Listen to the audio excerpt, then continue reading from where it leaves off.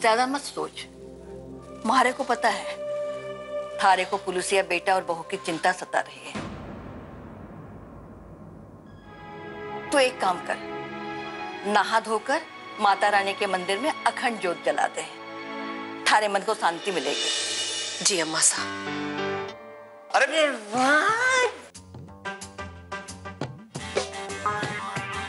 इतना बड़ा घर? किसका घर है? अपना ही घर है। सब घूम रहा है जी। माता ने मुझे माफ़ कर दिया। ए चुप। ए बिंदनियों पहले मारे को ये बात बताओ कि तुमको भाँग किसने पिलाई? भाग? नहीं अम्मा सा कोई भाग नहीं थी। जी अम्मा साहब कोई भाग नहीं थी। ए छोरे थारे को क्या लगता है? हमारे ये बाल धूप में सफ़ेद हुए हैं? मैं तो बिंदनियों की चाल देख कर ही समझ गई थी कि इन्होंने भाँग पी है। अम्मा सा हमने कुछ नहीं किया था। ये ना आरती की शरारत होगी। आरती? जी अम्मा साहब आरती। आरती? ठीक है उसकी खबर लेनी पड़ेगी।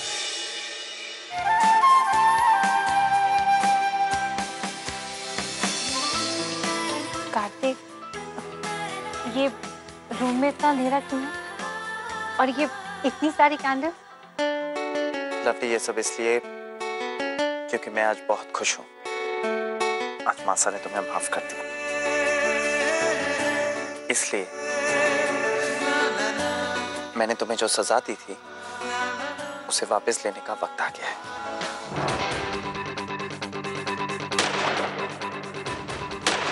सर! सर सर अंदर पुरबेट चालू है सर। सर मैडम ने एक और आतंकवादी को अंदर मार गिरा है सर। सर जल्दी चलिए सर। फास्ट। अरे आप इतनी परेशान क्यों हो रही हैं? साहब, हमें सिमरन और शिबू की बहुत चिंता हो रही है। पता नहीं क्यों अभी तक घर नहीं लौटे। कमाल करती है।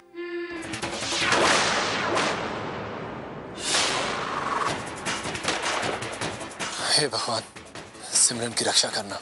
सर आप फ़िक्र मत करिए। मैडम को कुछ नहीं होगा। वो वहाँ से बच के निकल आएँगी। झांसी की रानी है वो।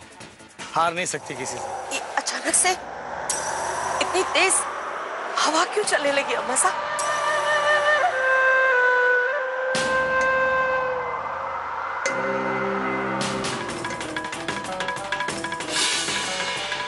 सिमरन?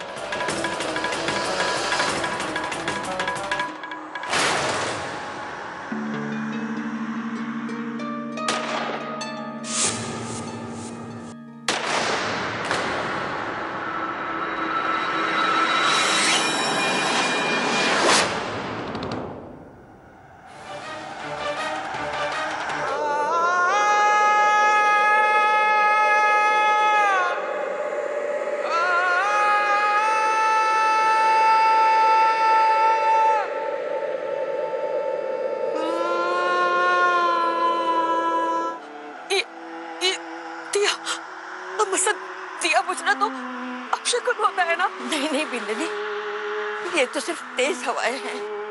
दिमाग में गलत धारणा मत पार।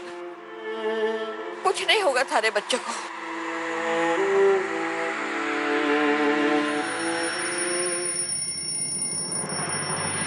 तो मम्मी पापा आने वाले हैं। शायद आ गए होंगे। इतने दिनों के बाद माँ के हाथ का बना हुआ खाना खाएँगे? तो मेरे सिमरन शिबू खुश हो जाएँगे। मम्मी पापा आ गए होंगे मम्मी पापा अरे अनु बेटा कहाँ भागा जा रहा है? मम्मी पापा आगे होंगे ना इसलिए मिलने। देखा दादी साहब मम्मी पापा आ गए होंगे। मम्मी पापा आ गए होंगे। लगता है सिमरन शिबू आ गए।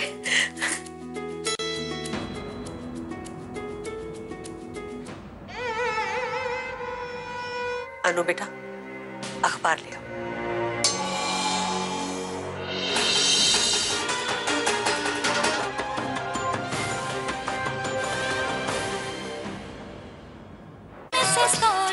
की पाँच बहू